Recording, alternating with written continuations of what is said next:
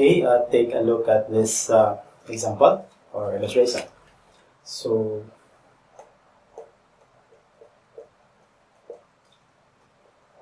illustration for the 2k rule. So, we have here 2k uh, should be greater than or equal to n. So, let us have an example for n. Given that n is equal to, let's say, 20. Now, next is you have to find the value for k and then by mathematical manipulation, so here at k equals 2, for example, k 2 raised to 2. So 1, 2 raised to k. So 2 raised to 2, where your k is equal to 2. So let's try if this is greater than or equal to 20. So by applying the power of 2 to the base 2, this 2 raised to 2 gives you, okay, 4. And 4 is greater than or equal to 20.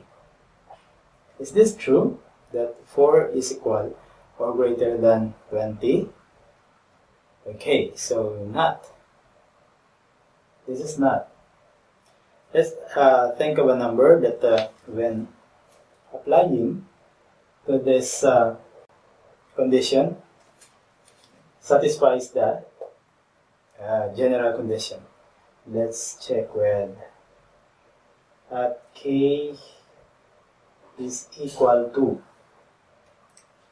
mm, when our k is equal to 4 2 raised to 4 is 16 still cannot satisfy the condition. How about 5 32 let's say k is 5 so this is 2 raised to 5 this is greater than equal to 20 so when base 2 is uh, multiply 5 times by itself, uh, 2 times 2 is 4, times 2 is 8 times 2 is um, 16, then another 2 gives you or gives us 32. So this is 32. This is greater than equal to 20. Is this true? So yes.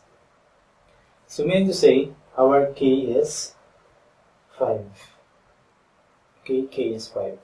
Now, the question is, why we need to have that 2k rule?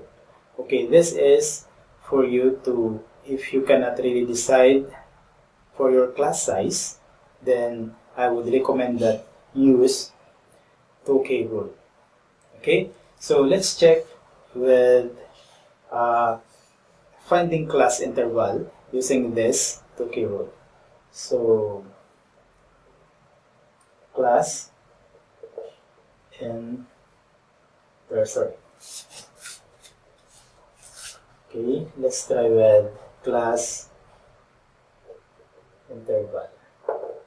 So class interval labeled as CI make let us make some uh, separator or a separator here. This is equal actually to as formula we have range over desired class size. Range over desired class size. But what if you do not know or you cannot really decide for your class size? Then, as I what I've said, use the 2K rule. So let us have another example here. Having class interval with the use of 2K rule. So, given again, given that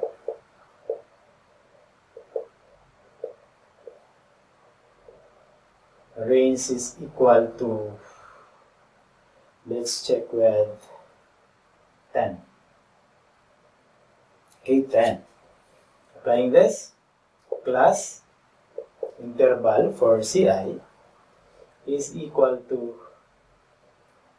range over desired class size.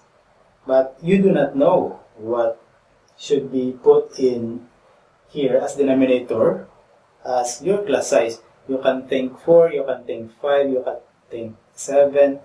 But what if your total data is reaching to 1000 and up, 500 and up? Of course, when you are using uh, your imagination like having 4, having 5 or 6 as class size, you will sometimes confuse.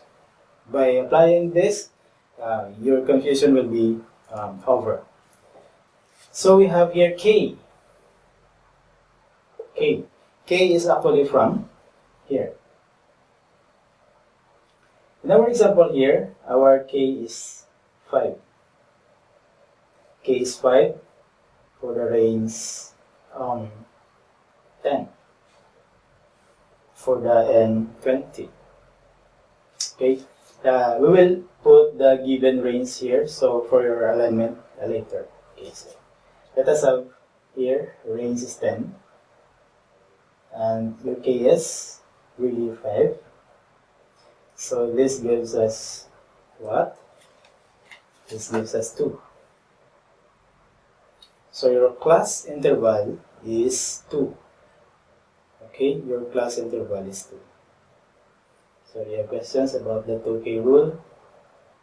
Uh, reminder, k is equal to 5 means when applying 5 as power to the base 2 gives you 32.